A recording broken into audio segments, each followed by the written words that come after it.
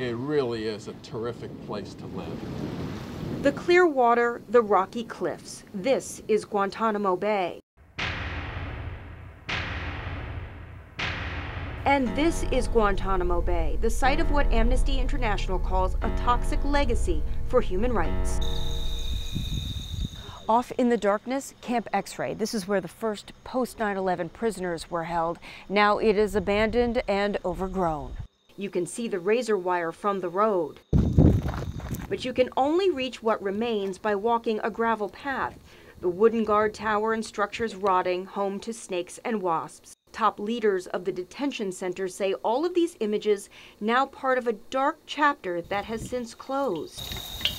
It is the face of, you know, not such good things that may have happened in the past. My entire chain of command, all the way to the President of the United States, knows that we do business here in a very professional manner.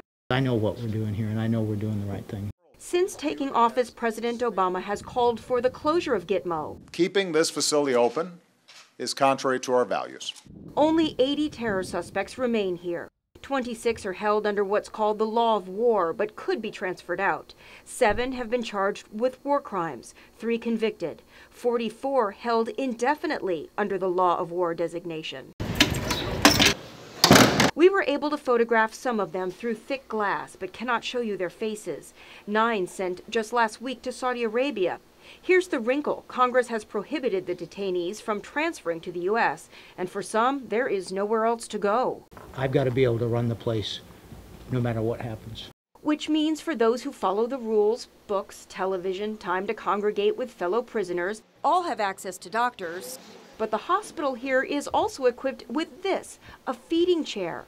Those who go on a hunger strike, soldiers call them non religious fasters, could be fed liquid nutrition while restrained in this chair, only with the permission of the higher ups. We try to convince them that you know there is a certain amount of harm that can come from the long-term non-religious fast, and so we try to work with them in that.